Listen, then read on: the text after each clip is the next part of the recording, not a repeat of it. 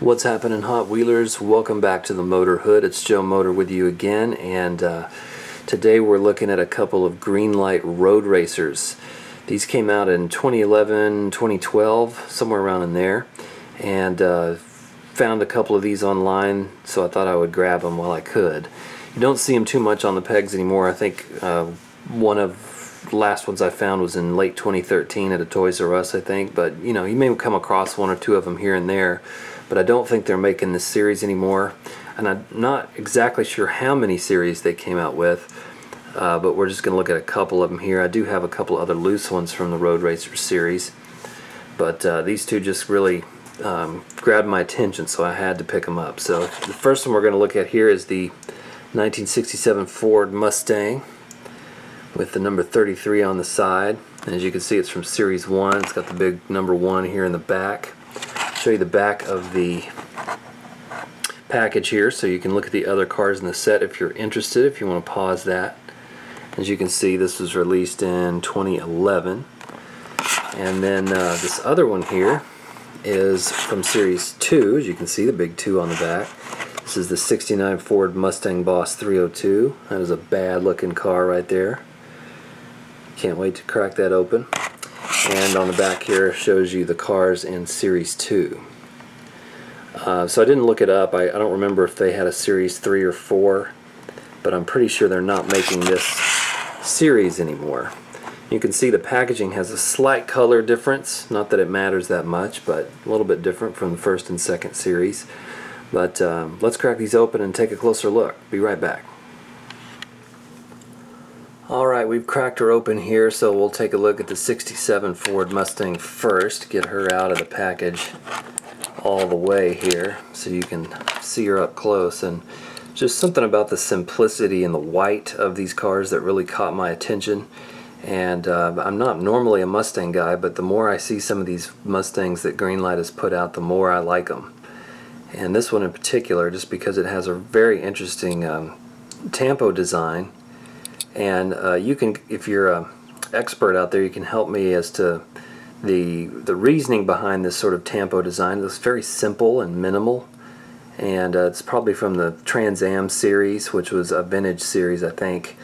Uh, but you can help me out if I'm mistaken on that. It's a little different from say this one which looks like the more what you're used to seeing these days on typical uh, American stock cars with the big thick numbers on the side.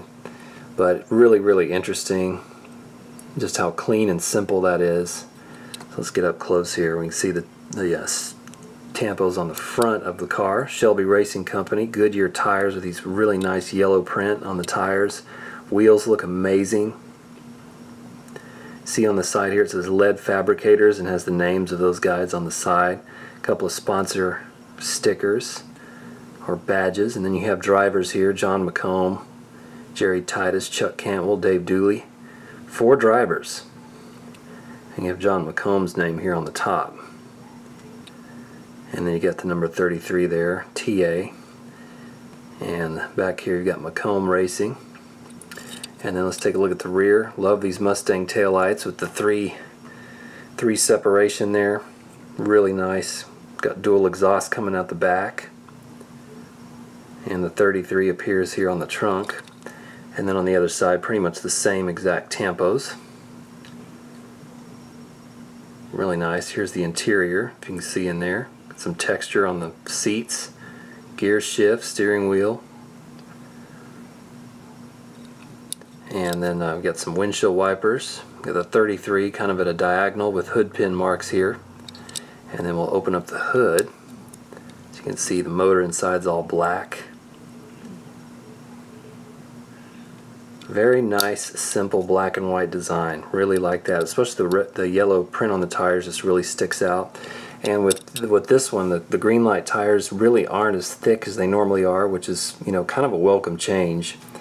Some of the Greenlight uh, tires that come out, collectors kind of complain that they are too thick. They call them the steamroller tires. And you know, Auto World kind of does too thin for my liking, even though they might be more true to scale. Uh, this thickness is just about right for me.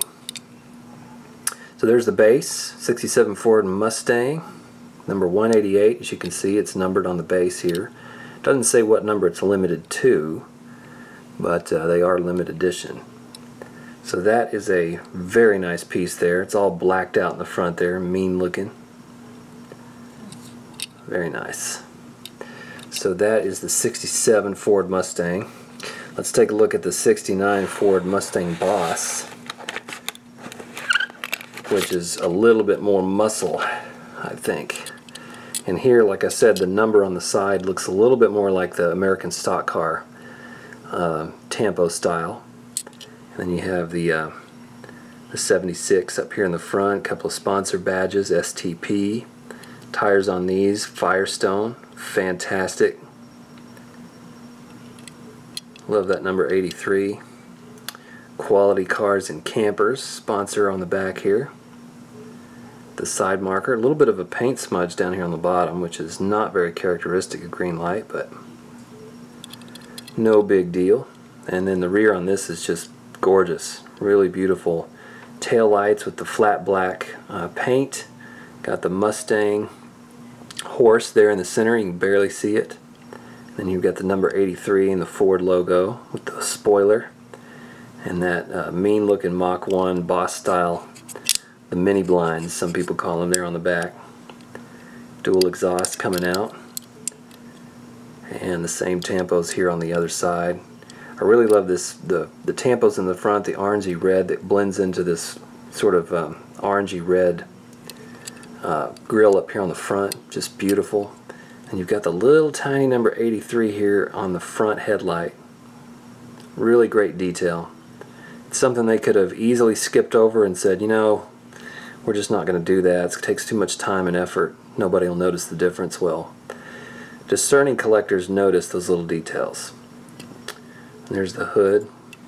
Got that flat black sort of accent on the hood and then underneath another all black motor on the inside